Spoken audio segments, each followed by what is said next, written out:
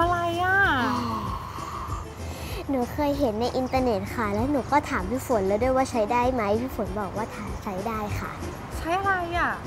ก็ใช้น้ำอัญชันทาคิ้วๆจะได้สวยๆไงคะเขาไม่ได้ทากันแบบนี้ เขียนแบบนี้เลอะเทอะหมดเลยแต่มันใช้ได้ใช่ไหมคะ ใช้ได้จริงๆ แล้วเนี่ยมันเป็นความรู้ของคนสมัยก่อน ก่อนที่จะมีเครื่องสำอางมากมายอย่างปัจจุบันนี้นะ แต่ถ้าจะให้ผลดีเนี่ยจะต้องใช้กับก้านพลูรู้จักก้านพลูไหมพลูที่ใช้กินกับหมากใช่ไหมคะใช่เราต้องใช้ก้านพลูสดนะ และที่สำคัญจะต้องมียาอยู่ที่ก้านพลูด้วย เราเอาก้านพลูเนี่ยจิ้มในน้ำดอกอัญชันอันเนี้ยนะจ๊ะแล้วก็นำมาวาดที่คิ้วให้เป็นรูปร่างให้สวยงาม ต้องระวังเวลาเขียนด้วยนะจ๊ะคนที่เขียนคิ้วแบบเนี้ยคิ้วเขาจะสวยแบบนี้ไหมคะ ก็ไม่ทุกคนหรอกนะ บางคนน่ะพ่อแม่คิ้วหนาเนี่ยก็จะช่วยให้คิ้วเนี่ยมีรูปทรงที่สวยมากขึ้น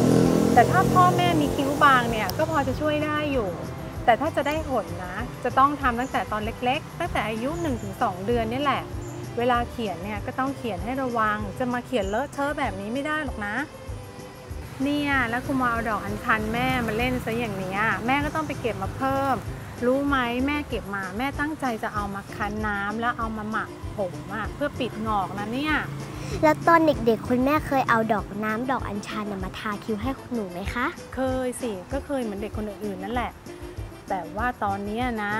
แม่ต้องไปหากระดาษหรือผ้าเนี่ยมาเช็ดหน้าเราก่อนแล้วล่ะ ถ้าทิ้งเอาไว้อย่างเนี้ยนะ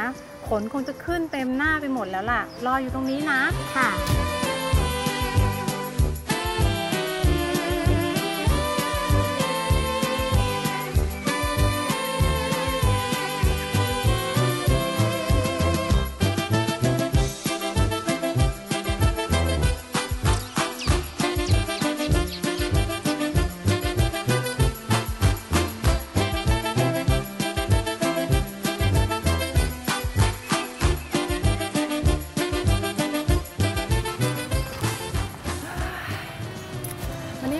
มาเช็ดนะ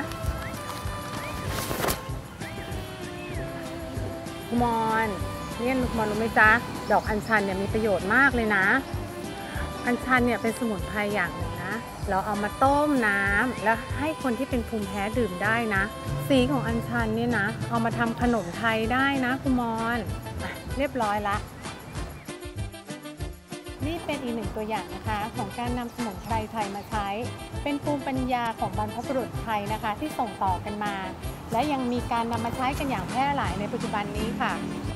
หวังว่าทุกคนจะใช้อัญชันเขียนคิ้วได้อย่างถูกต้องนะคะ แล้วมาพบกับการดูแลสุขภาพง่าย ๆ ในรายการหมอยาน้อยทางอภัยภูเบศ YouTube Channel หรือ Facebook สมุนไพรอภัยภูเบศค่ะ ไม่ว่าเล็ก หรือใหญ่ ใครก็เป็นหมอได้